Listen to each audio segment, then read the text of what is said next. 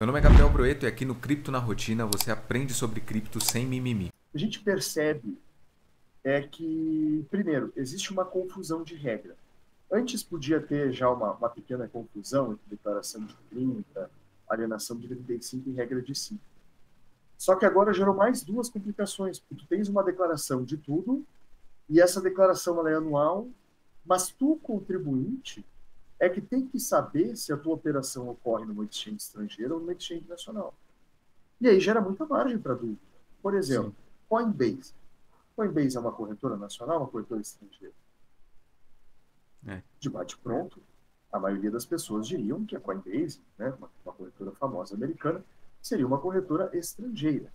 No entanto, desde outubro de 2023, final do ano passado, a Coinbase nacionalizou suas operações e está entregando né, a, a, a IN 1888, as declarações mensais da exchange das sabia, operações. Não.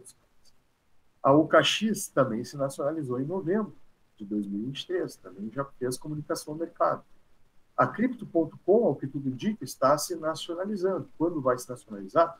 Não sabemos, mas está em processo de estudo. Então, uh, fica muito difícil para tu saberes onde tu estás, né? em qual regra tu estás te colocando. Se tu estás na regra de pago imposto sobre tudo, ou se tu estás na regra do surf os 35 mil da faixa